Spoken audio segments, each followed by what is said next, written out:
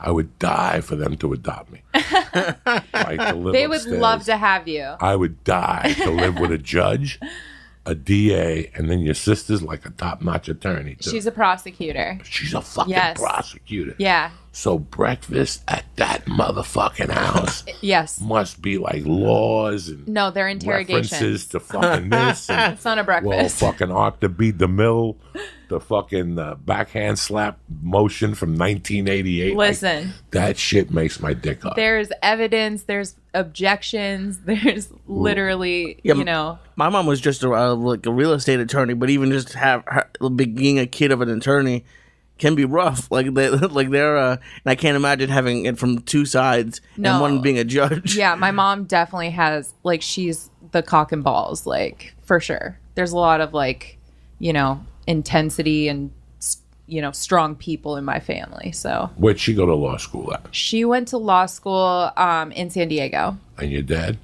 He went to law school here in Los Angeles. No shit. Yeah. And they met here? They met in the courthouse in Las Vegas. Holy shit. Yeah. My mom was a TV news reporter and my dad was a prosecutor. And he would um, pass her in the hallway. And he always tells us that he would see her on TV and say that he's going to marry that woman someday. Wow. And then she went off to law school. And I think they kind of like were dating other people. And then when she came back, I guess they met at a bar or something. And like he couldn't keep his hands off her, that dog. Well, like court in Vegas must be completely different than anywhere. Like Vegas is a, like a completely different place. Vegas is an insane like asylum. I mean, I don't even know how I grew up there. Like I went back last weekend, and as you get older, you you know your hometown means different things to you, and you can kind of put into perspective your childhood, and it's such a crazy place to grow up if you think about it. Now, as you were growing up, did you, were your parents pushing for you to go into the law field?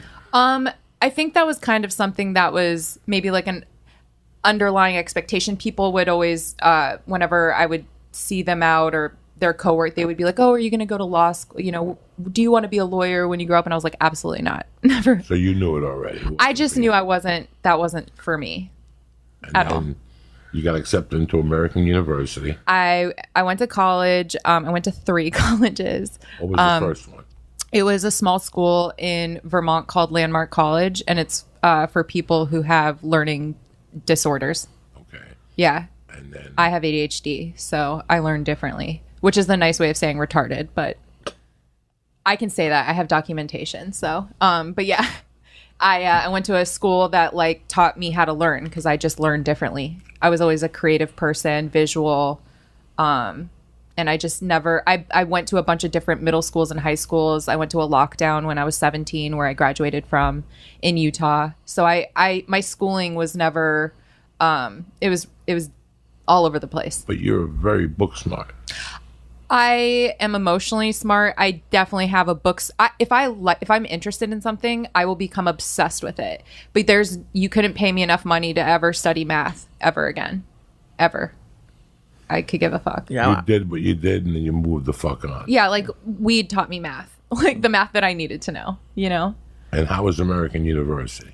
it was cool for like uh, you know it was cool to be in our nation's capital i got to see obama get inaugurated like i was a part of you know a huge historical moment in time but um i was i just felt like the dumbest person in all of my classes i could care less about politics um i wasn't inspired by it i thought it was kind of like hollywood for ugly people but i mean no there's whatever but I just I it wasn't the right place for me. And I even had the opportunity to intern for Congress Congress. I could have, you know, um, gone off and done something big with that, but I just was never it wasn't meant for me. So you ended up in Lynn College in what part of Florida? Boca Raton. Okay. all the Jews. and All of them. and that's where you got your degree. From. I got my master's degree from Lynn. Um, and uh, yeah, I stayed down there and I worked uh, in the hospitality industry. I always worked since I was 15 in hospitality. Um, and I worked in marketing out of college. and you got a degree in marketing. Yeah. A master's A master's, yeah. in marketing. No shit. Yeah. And then when did you start smoking reefer? As soon as I pretty much left my parents' house when I went to college, 19. when I went in to Vermont. Yeah, Yeah. that's where it's. I mean, you have to smoke weed in Vermont. in Vermont, That's no- the place. Like everyone is on something there. And then when did you first decide to get on stage? Um, Almost three years ago. Yeah. Um. When I was 29.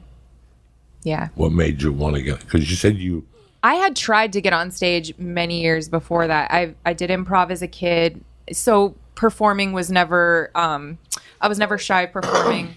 I was always the first one in college who wanted to like get up and do my presentations, and I just liked being in front of people. But when I was living in Florida, I started going to improv shows. My first stand up show was seeing Mike Epps at the Palm Beach Improv. And um, I would see, I saw Jon Lovitz, Bob Saget. Like, I had just fell in love with stand up um, years ago.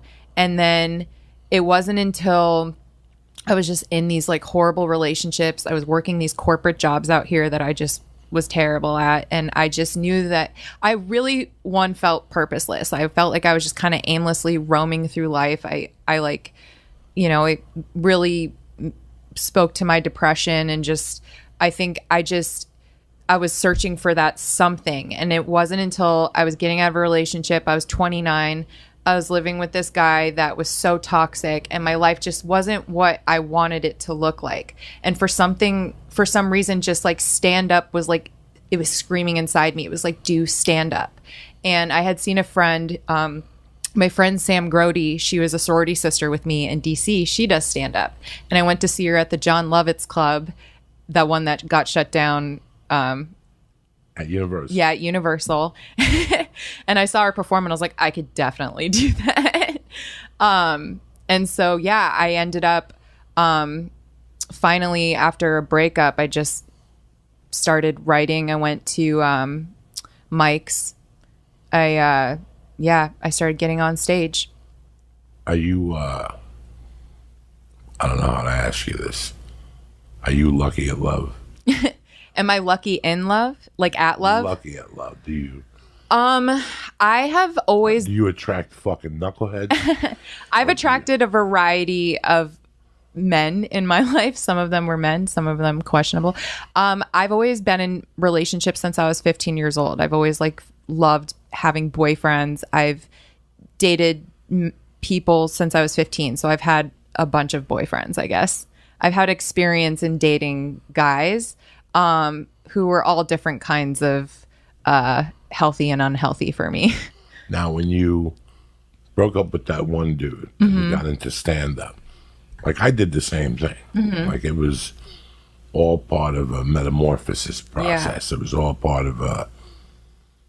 I'm gonna stop doing what the fuck I'm doing and get into this. Like, Right. I got on stage in like June, and in October she told me she wanted to get separated. Oh wow. So I walked like for four months. I walked around like I don't want to be with this person no more, and everything sucked. Yeah. Like everything just sucked. Once I got on stage, and here I am, 28. I'm out of prison, and, and I'm with this woman, and God bless her. She drove me to my first open Wow. mic. She forced me, like she forced the hand, you know. But it's really tough to explain to people. Sometimes at your, like I got into stand up at the lowest point in my life, mm-hmm. and then I got into it at a lower point. in my life. And then I got all in at the lowest point in my life. Yeah. Like the lower I got, the more I got into it. Yeah. Is that how you felt sometimes? I my first year of stand up, I suffered like suicidal depression. Like I wasn't like I didn't have um a plan. I wouldn't actually do it, but it it was in and out of my life my first year of stand up. I um got out of that relationship that I was in at 29, started stand up. It was I was working for Levity at the time and my uh, I was doing social media marketing for them. That's really like my my path into comedy was like I used to work at corporate and um I I ended up leaving that job because they wanted to bring someone in house. They got Rita from the improv let me be a bartender in the lab. And they don't give those jobs to like just anyone, let alone women. And like, I'm not a career bartender. like, I'm in the back looking up, you know, basic recipes for a Manhattan. You know what I mean? Like, she really believed in me. And so I was going through this breakup. She gave me an opportunity at the improv. And I was also starting my open mics and writing and getting into stand up. And it just became like my I was like, this is what I'm in love with. This is this is what I've been missing my whole life. This is what this is my purpose. It gave me meaning to my life in a whole new way. We're going in like fucking Marines. You understand me? Welcome to church, motherfucker.